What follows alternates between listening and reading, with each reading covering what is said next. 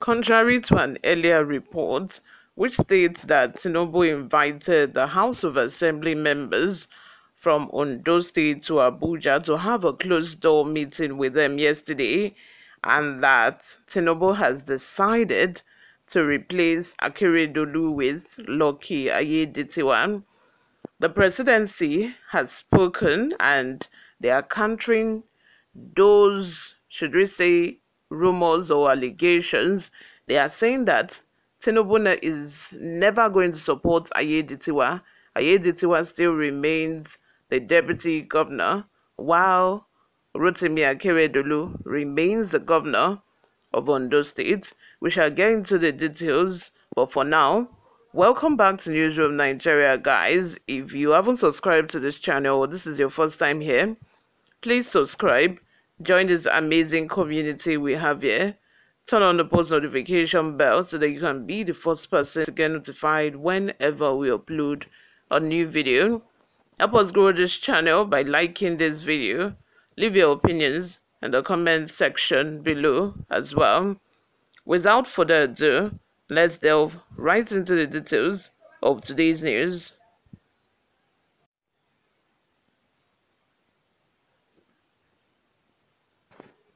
Breaking news Rotimi Akeredolu still remains the Ondo State governor, Tinubu speaks.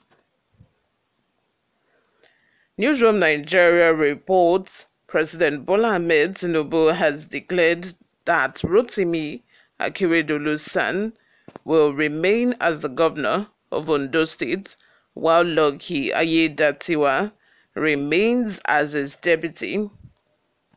Newsroom Nigeria gathered that this decision was made after a meeting between Tinubu and Ondo State stakeholders at the presidential villa on Friday. Tinubu's decision was made known in a statement on Saturday by his special advisor on media publicity, Ajuru Ngelale, amidst reports that the president may have ordered the state lawmakers to invoke the doctrine of necessity and declare Aiyedatiwa the acting governor. In the statement, the presidency affirms that Akeredolu remains the governor.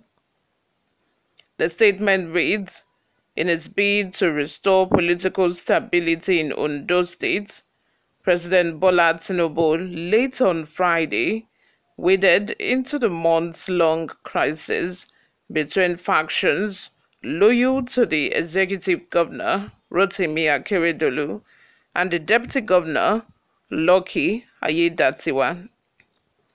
This followed marathon negotiations between the president and the deputy governor, representatives of Governor Akeredolu, federal and state lawmakers of Ondo, officials of the state chapter of the All Progressive Congress, and other stakeholders in the state at the State House, Abuja.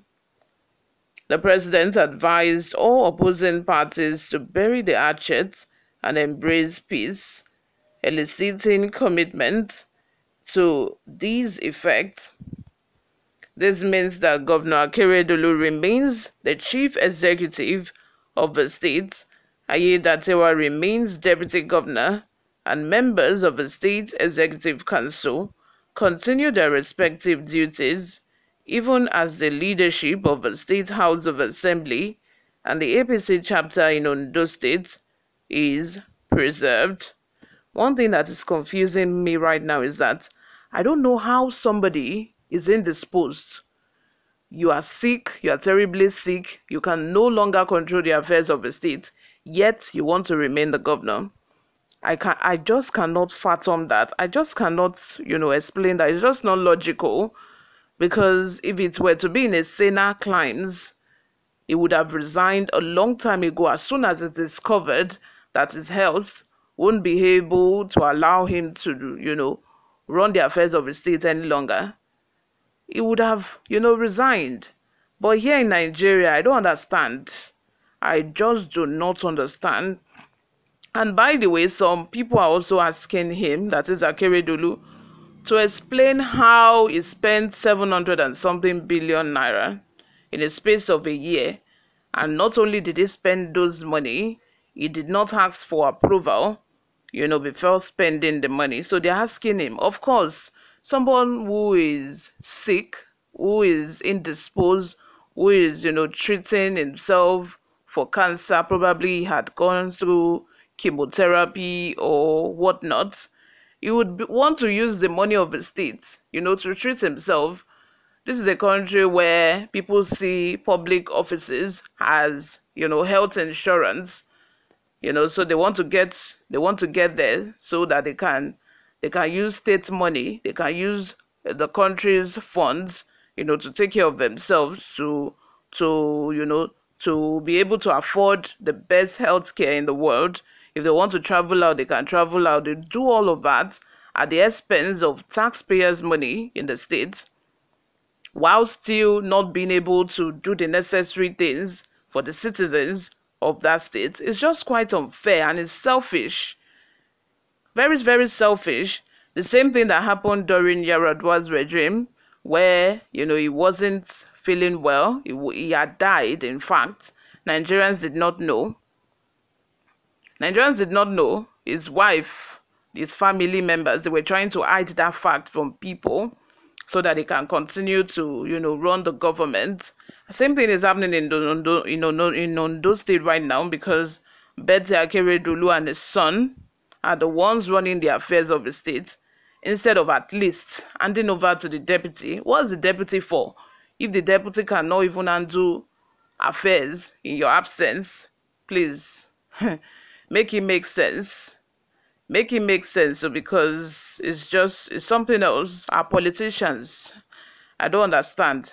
Thieves. They are all thieves. Our politicians. It's just so sad. I don't get it. Let me use this uh, minutes to remind you to subscribe if you haven't already done that. Subscribe and join this amazing community. Like this video. Also leave your comments in the comment section below. Let's share opinions and ideas over there. Before we go, let's take a look at some of the reactions we got online. Tunji Okoko says, These Ondo State of Assembly people are Momo. It's your job Tinubu is doing. Adeni Victoria says, Amen. Solomon, wisdom. I pray God heal Governor Akeredolu Rotimi You will not die but survive and eat the fruit of your labor. Lastly, Christopher says, What is the essence of the Constitution then? What is the essence of a Constitution? Or the same question that we all are asking. What's the essence of a Constitution? The deputy cannot take over the affairs of the state the one who is supposed to be the governor of the state cannot do his job. So who are the ones that are going to be suffering? Number one is going to be, you know, living off of taxpayers' money to to to pay his hospital bills. Number two, the, the even the citizens of the state are not going to get the dividends of democracy throughout the rest of his regime. So it's the it's the citizens of the state that are losing while he is just there as figurehead ruling the state from Ibadan. You all, let me have your thoughts in the comments section. You guys know I don't know much. I'm just keeping it real. Subscribe to this channel if you haven't already done that. I will see you all in my next video, guys. Bye for now.